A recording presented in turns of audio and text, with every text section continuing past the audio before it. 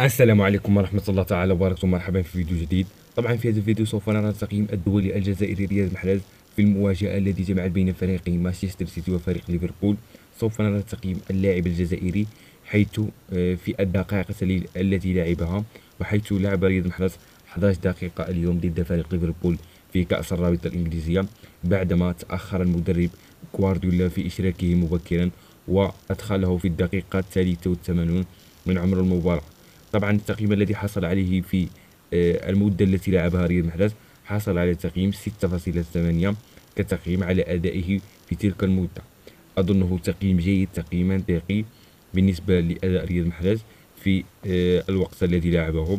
كما قلت المدرب بيبي غوارديولا آه، سبب الخسارة اليوم وكذلك تأخر في إقحام الدولي الجزائري وإقحام متأخر في عمر المباراة وكان منهزما حينها ضد فريق ليفربول وخسر المباراة اليوم بثلاث أهداف لهدفين في كأس الرابطة الإنجليزية.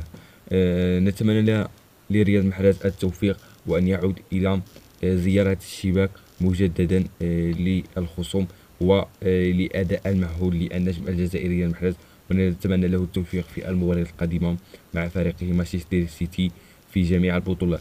طبعا هذا هو كل شيء لدينا اليوم.